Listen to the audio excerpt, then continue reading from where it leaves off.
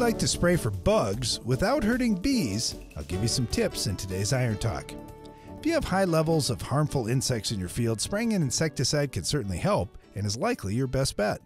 Keeping bee colonies safe is important too, and those two things don't have to be mutually exclusive.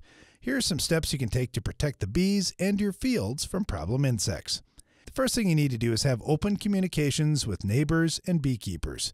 If you simply give notice that you need to spray, the beekeeper has time to plan accordingly. Secondly, time your spray applications appropriately. And this is a real big deal. The most important time to avoid spraying is clearly during flowering.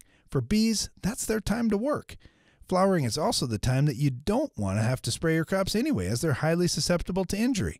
So if you must spray, move your application either to later in the day or when the weather is cool.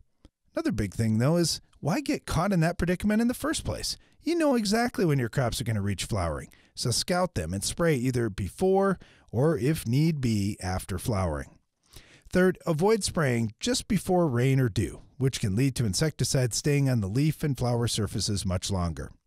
Also, product selection can make a huge difference too. Some insecticides have more residual activity, and others provide more of a quick knockdown. One particular call out is the neonicotinoid family. Since neonics don't kill bees quickly, in many cases they can actually bring that back to the hive and kill the whole hive.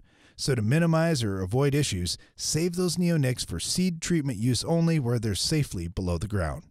Finally, follow labeled rates and spray directions to minimize drift and other potential longer term impacts. That's all for today's Iron Talk, and now back to the show.